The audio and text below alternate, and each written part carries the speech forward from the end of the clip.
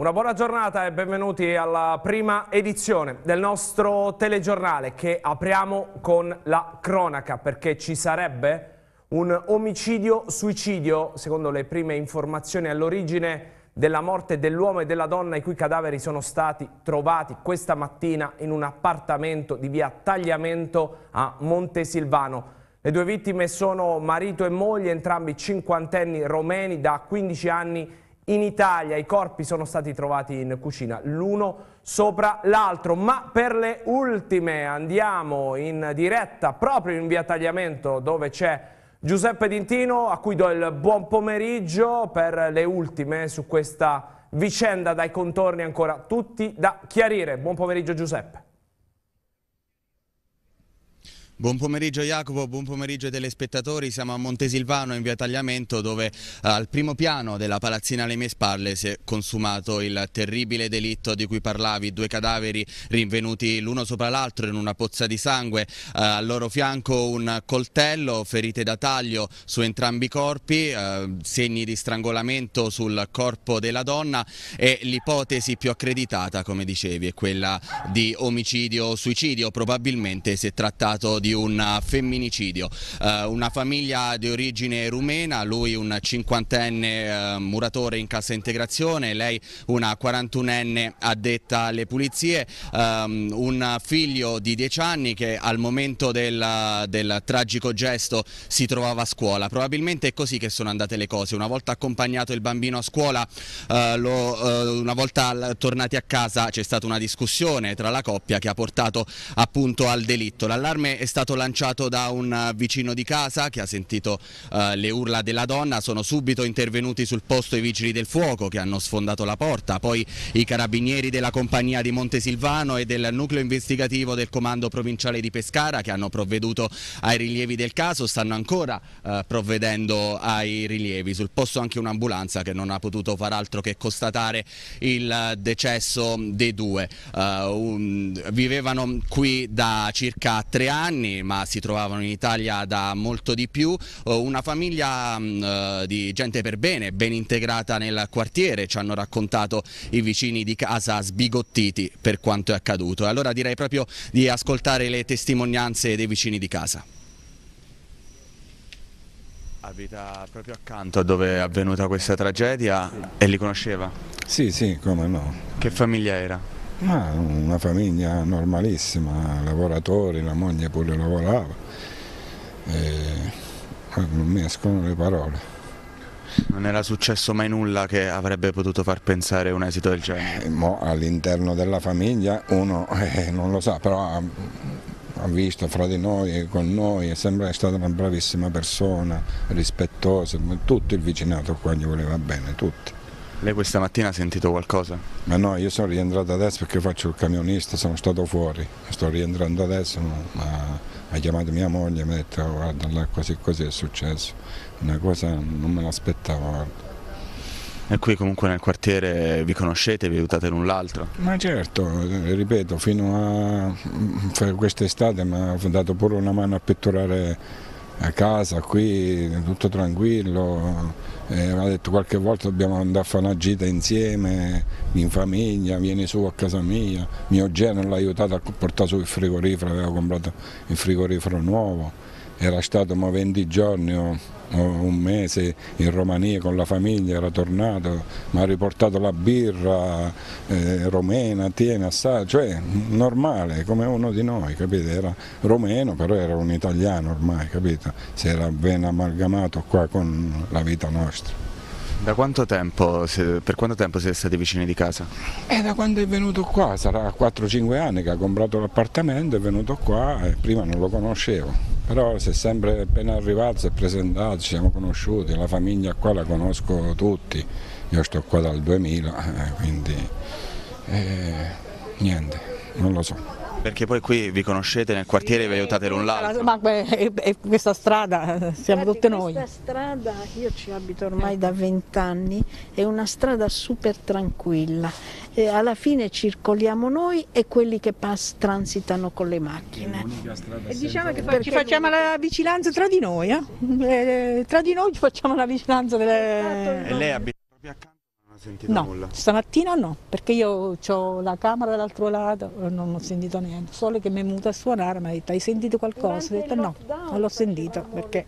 L'ha saputo dai carabinieri? No, l'ho saputo dal mio vicino che mi ha suonato prima che lui ha detto ho chiamato i carabinieri, io l'ho rimproverato, dico ma anche se hanno fatto discussione una, una coppia, perché hai chiamato i carabinieri? Ha detto ma io ho sentito dei, dei, dei gridi forti, ma ha detto proprio... Eh, no, Nicola. Ah, Nicolino. A me Nicola mi ha chiamato. No, io... ha sentito queste grida? Eh, ha sentito il grido sentito. di lui, ma un lamento più che un grido, un lamento, ecco. Perché lui mi ha detto se, se lui è sole, se, si è sentito male. Eh, quando mi ha detto così mi è venuta un po' la trevarella. Eh. Abbiamo ascoltato le parole dei vicini di casa, il tutto è accaduto questa mattina tra le otto e mezza e le nove e eh, quando il eh, bambino per fortuna di 10 anni si trovava non in casa ma a scuola è stato poi affidato ai servizi sociali in quanto in Italia non ci sarebbero parenti della, della coppia uh, e uh, in questo momento stanno uh, procedendo, stanno concludendo i rilievi del caso i carabinieri e sul PM è intervenuta oltre al medico legale anche la PM Fabiana Rapino. Prossimi aggiornamenti se non ci sono domande nell'edizione delle 19. Linea allo no, studio. No, solo una curiosità Giuseppe perché pare che la, insomma, la pista omicidio-suicidio sia stata quella eh, immediatamente indicata e che sembra avere ma maggiori riscontri, vero? È, è, è vero tutto questo? Sì, assolutamente, anche perché non, eh, pare che non ci sia alcun segno di, di infrazione in casa i due sono stati eh, ritrovati l'uno sull'altro con un coltello vicino, ci sarebbero anche segni di strangolamento sul corpo della donna, quindi eh, non solo omicidio-suicidio, ma eh, finora le dinamiche, eh, quanto trapelato finora, lascia pensare che addirittura si è trattato di un femminicidio. Mm, ok. Grazie, grazie Giuseppe, grazie per eh, ovviamente anche a Loris Bennato per la parte tecnica, anche per averci fatto ascoltare eh, le voci dei vicini eh, di casa, ovviamente dinamiche ancora tutte da chiarire, spetterà ovviamente agli organi inquirenti. Da, una, da Montesilvano ci spostiamo di alcuni chilometri andiamo a Villanova di Cepagatti dove eh, trovo e do il buon pomeriggio ad Alfredo Primante, buon pomeriggio Alfredo perché oggi era giornata di visita per il segretario della CGL Landini, prima a Pescara per i 75 anni appunto del sindacato e poi ovviamente la visita ai lavoratori dell'Ariello di Villanova di Cepagatti. Buon pomeriggio Alfredo.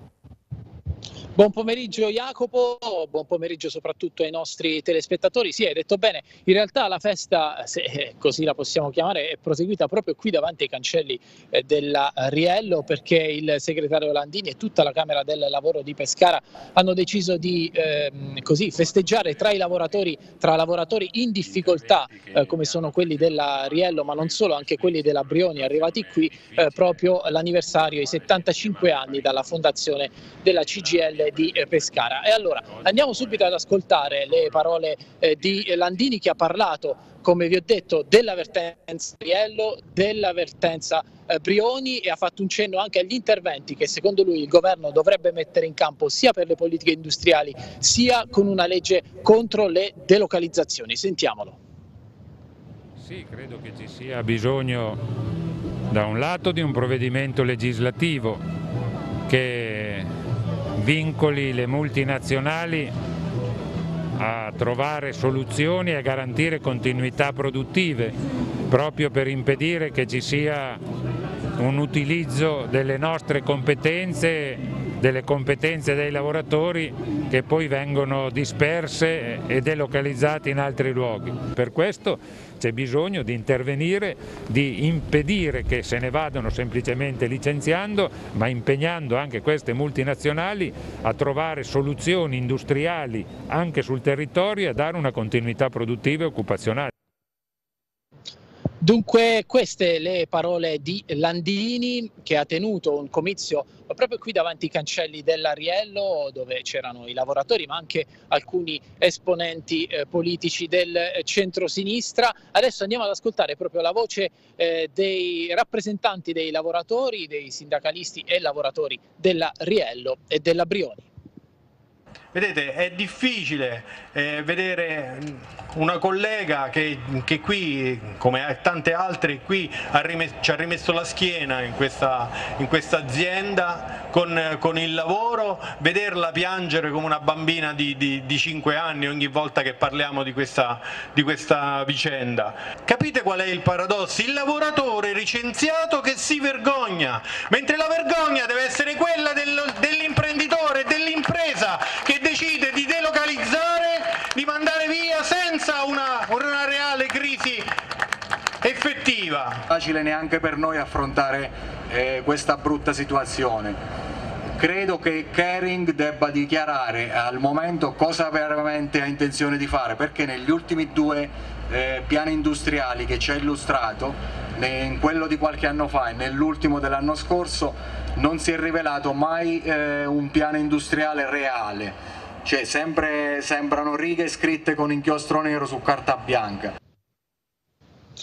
E dunque anche, abbiamo ascoltato anche i lavoratori, i rappresentanti sindacali, gli RSU eh, della CGL sia di Brioni eh, che della Riello. Con il segretario generale della CGL Landini eh, nell'intervista eh, di cui avete eh, visto in precedenza uno stralcio abbiamo parlato anche di quello che è accaduto a Roma, dell'assalto alla CGL, della manifestazione che ci sarà eh, domani di risposta all'assalto che eh, Landini ha definito fascista eh, nei confronti della CGL con l'unità di tutto il sindacato. Ascoltiamolo.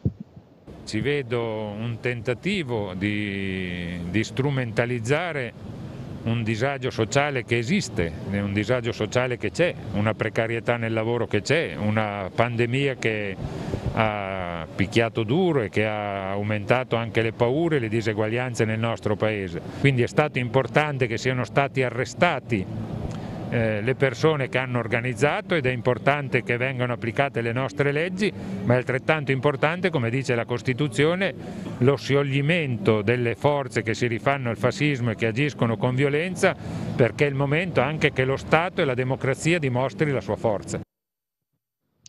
E dunque eh, Landini, come avete sentito, ha parlato di democrazia e lo aveva fatto anche nella Lexio Magistralis. Se la regia è pronta può mandare anche le immagini di questa mattina all'Auditorium Petruzzi di Pescara, dove la mattinata pescarese di Landini era eh, iniziata. Eh, Landini si è rivolto agli eh, studenti e ha parlato loro appunto con un eh, lungo intervento eh, anche dei temi che sono in agenda in questo momento, della centralità del lavoro, dell'antifascismo fascismo, dei valori eh, democratici e della eh, Costituzione. State vedendo proprio le immagini sì. di eh, Landini che arriva peraltro, eh, peraltro all'auditorium Alfredo, Petruzzi. Jacopo. Peraltro Alfredo eh, in una visita contestuale al primo giorno, lo ricordiamo, di obbligo di Green Pass per i lavoratori che ha suscitato eh, parecchie polemiche, una visita anche simbolica da parte eh, di Landini, al di là delle vertenze Riello e Brioni che sono importanti, centrali per il lavoro della nostra regione, però il, eh, essendo il primo giorno, oggi 15 ottobre, il primo giorno di obbligo del Green Pass obbligatorio per i lavoratori, una visita non casuale. Ecco. Sì, tra l'altro Landini in una parte dell'intervista che non abbiamo ascoltato ha parlato anche chiaramente di questo e ha invitato il governo a calmierare i prezzi eh, dei tamponi ad una riflessione più generale, fermo restando eh, che eh, Landini è assolutamente favorevole al Green Pass e alla vaccinazione, eh, ma eh, insomma vista anche eh, la percentuale, certo non elevatissima, ma che esiste di persone che non hanno eh, fatto il vaccino, secondo il segretario della CGL sarebbe necessario anche abbassare il costo dei tamponi per consentire ai lavoratori eh, di effettuarli. Tra l'altro Landini ha anche lanciato la proposta di far pagare i tamponi alle aziende perché ha detto Landini, il lavoro è un diritto e non deve essere tolto per un tampone o per un vaccino non effettuato. Jacopo, se non ci sono altre domande io restituirei la linea allo studio. No, grazie, grazie Alfredo, grazie per insomma, averci fatto ascoltare eh, le parole di Landini, segretario della CGL, ovviamente in visita alla Riello, ma non solo la Riello, abbiamo visto anche la Brioni, un'avvertenza importante per i lavoratori della nostra regione. Grazie, grazie anche ad Alfredo Primante, noi rientriamo e come detto, sia per il pubblico che per il privato, questa mattina è scattato l'obbligo di esibire il Green Pass per accedere al proprio posto di lavoro. Siamo stati al comune di Pescara in un'azienda di Chietiscalo, vediamo com'è andata la mattinata nel servizio realizzato per noi da Stefano Recanati. Da oggi il Green Pass sarà ancora di più un documento indispensabile per le attività quotidiane. Il decreto del 21 settembre ne ha esteso l'obbligo per l'accesso a tutti i luoghi di lavoro, sia nel settore pubblico che nel privato, fino al 31 dicembre, termine dello stato di emergenza. L'obbligo vale per il personale dipendente, ma anche per tutti coloro che accedono alle pubbliche amministrazioni occasionalmente. Abbiamo cercato di eh, allungare eh, l'orario di ingresso eh, anche per tamponare quei casi, questo è un gioco di parole, parole, mi è venuto a tamponare quei casi in cui ehm, un dipendente possa avere un disguido tecnico, recarsi magari in farmacia quindi a fare eh, il tampone e poi venire un po' più tardi. Anche per i privati l'obbligo vale per i dipendenti, ma anche per chi entra in azienda sulla base di contratti esterni. Le verifiche spettano ai datori di lavoro e per chi non è in possesso del certificato ci sarà l'assenza ingiustificata e di conseguenza il blocco dello stipendio, ma non la sospensione. Sì, veramente pensavo peggio, invece devo dire che è andato tutto bene, eh, i dipendenti hanno risposto diciamo, correttamente eh, munendosi di Green Pass sia cartaceo che sul cellulare, anzi l'impressione che ho avuto è che, ho, la percezione è che è stata presa anche mh, positivamente questo eh, maggior controllo. Insomma. Torniamo alla cronaca, adesso deve rispondere di violenza sessuale per questo è stato sottoposto a fermo di iniziato di delitto. Si tratta di un cittadino camerunense di 27 anni che si sarebbe reso responsabile di una violenza ai danni di una 23enne pescarese percuotendola per, eh, per costringerla poi ad un rapporto. Lo straniero che pochi giorni fa aveva ricevuto un permesso di soggiorno per protezione sussidiaria era ospitato da un paio di settimane dalla giovane e dal suo coinquilino in attesa di trovare altra sistemazione. Dopo l'accaduto il giovane è stato visto fuggire dalla finestra dell'appartamento. Lo scorso 12 ottobre i familiari della vittima hanno segnalato alla 113 la sua presenza per le vie del centro cittadino non lontano dal luogo di lavoro della ragazza consentendo così agli agenti delle volanti di rintracciare l'autore della violenza che visti gli elementi raccolti è stato sottoposto al fermo con il contestuale trasferimento in carcere. Nel corso delle indagini è emerso che il ragazzo era già stato indagato per una violenza sessuale avvenuta nel 2018 proprio a Pescara. Ieri il fermo è stato convalidato dal GIP che ravvisando la fondatezza delle tesi investigative e il pericolo di fuga e di reiterazione del reato ha disposto la custodia in carcere.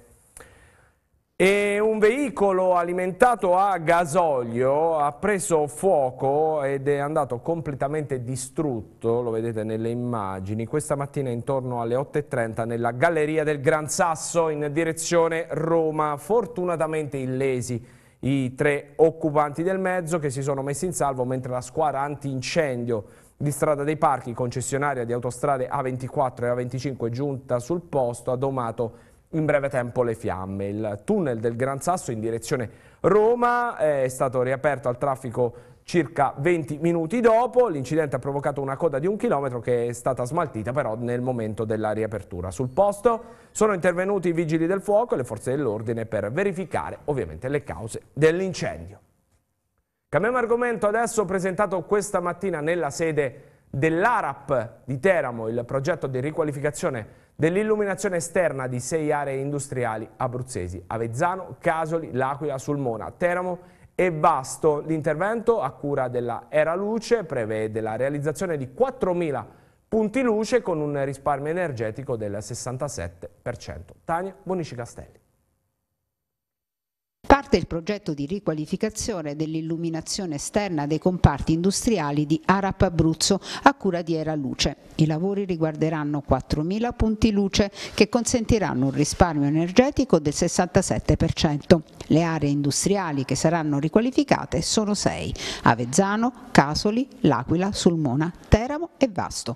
Il costo complessivo del progetto è di 4 milioni di euro. È uno dei tanti passi importanti che con Arap stiamo facendo per riportare i consorsi industriali a poter davvero offrire servizi alle aziende che sono insediate sul territorio e ad evitare che invece scappino come è accaduto nel passato e come accade perché trovano eh, aree industriali senza illuminazione pubblica, con le strade sfasciate, senza fibra, senza digitale, senza servizi. Dall'Ara offre servizi, presenta progetti innovativi molto importanti come questo di Era che nel giro di meno di un anno investirà oltre 4 milioni per rifare tutti i punti luce, a modernizzarli, riducendo di due terzi il consumo energetico, quindi grande attività di risparmio nella filosofia dell'economia circolare e della sostenibilità ambientale, ma soprattutto di offrire alle imprese servizi adeguati e meritevoli di un insediamento industriale. Le nuove infrastrutture che rinforzeranno le aree industriali abruzzesi non prevedono solo luce,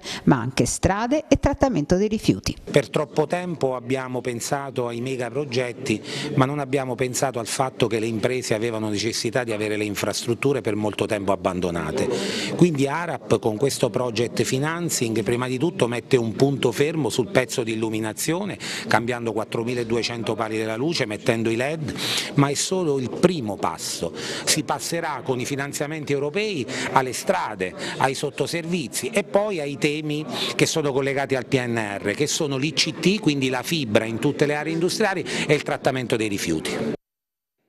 E adesso parliamo di politica perché domenica è lunedì turno di ballottaggio, tra le altre anche a Sulmona, per scegliere il nuovo sindaco che guiderà per i prossimi cinque anni la città ovidiana. In vista del voto nessun apparentamento ufficializzato, anzi Gerosolimo nei giorni scorsi ha rinunciato anche a scendere in piazza per fare campagna elettorale, ma lo sfidante Gianfranco Di Piero non si fida e invita tutti ad andare alle urne per confermare il voto che lo ha visto chiudere in testa il primo turno.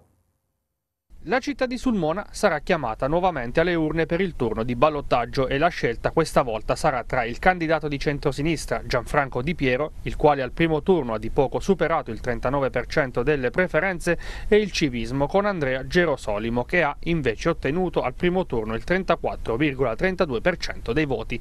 Il vero colpo di scena fino ad ora però è stato il clamoroso dietrofront dell'ex assessore regionale Gerosolimo, il quale ha parlato nei giorni scorsi di campagna elettorale elettorale finita, aggiungendo per quanto mi riguarda la coalizione di centrosinistra può iniziare a lavorare alla prossima giunta di Sulmona, scelta arrivata forse anche a seguito del secco no ad un apparentamento da parte del centrodestra e del candidato sindaco Vittorio Masci, il quale ha dichiarato ufficialmente di non sostenere Gerosolimo in quanto scesi in campo come alternativa al civismo. Nonostante questa rinuncia, i candidati consiglieri di Sulmona protagonista hanno deciso di andare avanti. Infatti i 112 componenti delle sette liste, forte degli oltre mille voti in più di Gianfranco Di Piero, invitano a votare Gerosolimo. Va avanti deciso per la propria strada invece il candidato Gianfranco Di Piero, che in questi giorni, pur sapendo della scelta effettuata dal suo sfidante, ha continuato ad incontrare cittadini, le categorie e facendo manifestazioni pubbliche. Dopo l'entusiasmante risultato del primo turno, con il quale i cittadini hanno chiaramente manifestato l'esigenza di un profondo cambiamento, siamo tutti chiamati a portare a termine l'importante partita per il futuro di Sulmona. Il prossimo sindaco dovrà essere in grado, con il decisivo sostegno delle forze politiche e di governo, di trasformare una città in declino in una città dove vivibilità e benessere tornino ai tempi migliori. Adesso apriamo la pagina di sport e calcio di Serie C che torna domani, il girone B almeno, visto che poi in settimana, martedì, ci sarà il turno infrasettimanale di campionato. Dunque domani in campo per la nona giornata, Pescara che ospita l'Adriatico Cornacchia eh, la Fermana, eh, nei biancazzurri eh, da verificare in difesa la disponibilità di Drudi che però non dovrebbe essere della partita dal primo minuto. In porta dopo il turno di stop del giudice sportivo. Gaetano Auteri ritrova Di Gennaro tra i pali al posto di Sorrentino che nella partita che vedete nelle immagini contro la Virtus Entella comunque ha disputato un'ottima gara. A centrocampo, sempre reduce dalla squalifica, torna Diambo. Rientra anche Frascatore in difesa che potrebbe dare il cambio ad uno dei tre difensori che hanno giocato lunedì sera contro la Virtus Entella proprio in vista dei tre impegni eh, di campionato nel giro di una settimana. Davanti, dopo le prove opache di Clemenza e Dursi, in Terra Ligure da verificare se il tecnico biancazzurro confermerà i due ai lati di De Marchi. Comunque questo pomeriggio ci sarà la conferenza stampa proprio del tecnico biancazzurro. Nella Fermana invece non sono al meglio Blondet e Cognegni e quindi sono da valutare per un eventuale impiego nella gara di domani. Out certamente Scrosta, Boateng e De Pascalis, squalificato invece il centrocampista ex Lanciano Capece. Fischio d'inizio domani alle 17.30, arbitra Longo della sezione di Paola. E così come domani alle 17.30 scende in campo anche il Teramo al Bonolis contro il Gubbio. Nei biancorossi fuori Chieremateng, Trasciani e Rosso, forfè quasi certo anche per Cucurullo che sarà valutato fino a poche ore prima del match. Panchina in attacco per Birligea che non è al massimo della condizione, nel Gubbio invece assenti Migliorelli e Malaccari, rientra Fantacci in attacco, ma andrà in eh, panchina, tridente con Magni, Arena e Sarao, ma dopo sette punti nelle ultime tre uscite, test probante per il Diavolo, come ammette anche il tecnico Federico Guidi, peraltro ex della gara. Lo ascoltiamo. Non nutro nessun tipo di, di, di rabbia, vendetta, cioè sono emozioni che non mi appartengono, nel senso che è chiaro che quando intraprendi questo percorso in questa professione sai che ormai l'esonero per noi allenatori è se, se non lo hai nel curriculum diventi quasi no, non sei un allenatore, quindi dobbiamo imparare a conviverci ed è stato un momento, è stata la mia prima esperienza nei professionisti e, insomma è, è, è, stato un momento molto formativo per me eh, e quindi però detto questo io là sono stato poco ho conosciuto anche tante persone che tuttora mi vogliono bene, abbiamo stretta amicizia quindi è per me una partita come tutte, come tutte le altre anzi eh, il presidente Notari e il direttore Pannacci sono stati i primi che hanno creduto in me e, e al di là di come è finita però io a loro sarò sempre riconoscente. Ehm, dopo Lucchese, dopo Lucca, eh, Viterbese e Pistoia, questa è per tipicità dell'avversario la gara delle quattro, forse un, un po' più diversa, eh, diversa rispetto alle altre tre, perché probabilmente ci sarà una squadra che vorrà un po' di più il pallino del gioco rispetto alle ultime tre che avete affrontato, o sbaglio? Diciamo che affrontiamo una squadra che è costruita per i vertici della classifica e quello al di là di quello che viene detto in giro, ma quando una squadra eh, acquista giocatori del calibro di Fantacci, Sarao, Migliorini, Boulevardi, Cittadino, questo la dice lunga su quelle che sono le ambizioni di questa società. Affrontiamo una squadra che ha, è il terzo anno con, con, lo stesso allenatore, quindi può dare seguito alla propria metodologia di lavoro, propria, alle proprie idee di gioco e, e, quindi è partita. Non è casuale che le squadre che hanno iniziato con l'allenatore eh, che avevano già nelle stagioni scorse stanno facendo bene. Guardate anche l'Ancona Matelica, eh, perché partono avvantaggiati rispetto a, alle squadre che iniziano da zero in termini sia di calciatori che di guida tecnica. E quindi è una partita estremamente complicata. Eh, affronteremo una squadra che come valore fisico e valore tecnico è una squadra estremamente importante, tra le migliori del girone, ed è per noi un bel test per capire a che punto, a che punto siamo. È chiaro che noi eh, abbiamo già affrontato squadre di grande blasone con ambizioni di vertici della classifica, abbiamo fatto molto bene in termini di prestazione, eh, qualche volta siamo usciti sconfitti in maniera immeritata come, come, a Chiavari, qualche altra volta come Modena e Siena siamo riusciti a fare un risultato eh, positivo anche se era un pareggio. È chiaro che noi vogliamo continuare a vedere eh, i, nostri, i nostri miglioramenti e cercheremo di fare una partita coraggiosa, di grande personalità, cercando di mettere in difficoltà una squadra importante. E questo era il nostro ultimo servizio, vi ricordo che i contributi che avete visto tra poco saranno disponibili on demand sulla piattaforma YouTube e anche sul nostro sito web www.tv6.it oltre che sulle nostre pagine social. Prossimo aggiornamento col nostro telegiornale alle ore 19. Grazie per l'attenzione e buon proseguimento di giornata.